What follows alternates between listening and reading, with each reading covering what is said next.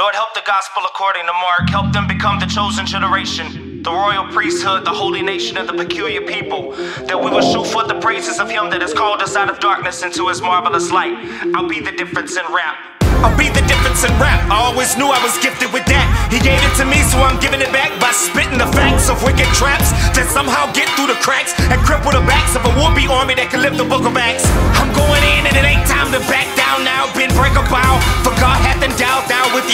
the to plow and endure every test and trial. He's committed to me, so I'll commit to Him and not break commandments, laws, or vows.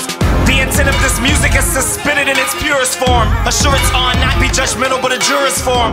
Not isolate myself from sinners and be a tourist to 'em, and to make sure I have a word from God, and to make sure it's form. I ain't in this for the money, cause of fame, only to bring glory to His name. Sight to the blind, healing to the lame. Tell the story of the one who came, and if they allow Him to take claim of their lives, they'll never be the same. Change reigns is my only aim. I'll be the difference in rap, the minds form wonder. Born a different breed, I'm completely torn asunder. Rap's repetitions give much room for blunder. The gospel, according to Mark, breaks the chains of what's redundant. The secrets among the skies and the word was hidden. I'll speak the distinct clause, this rhyme's never mentioned. And the release of change, all God's had forbidden. The gospel, according to Mark, songs of redemption. God, I'ma need your hope on this one. Let go!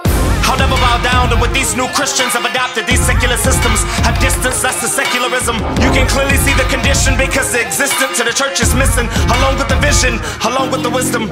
The mission is gone because the resistance is on to a God that is only trying to offer them assistance, but they consistently won't listen.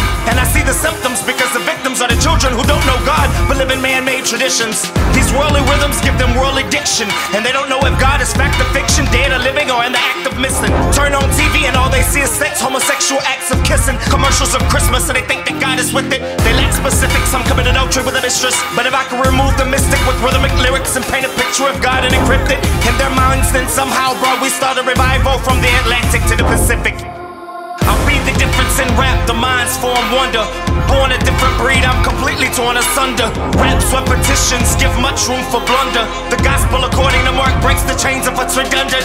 The secrets among the skies and the word was hidden. I'll speak the distinct clause, this rhyme's never mentioned. And the release of change, all God's had forbidden. The gospel, according to Mark, songs of redemption.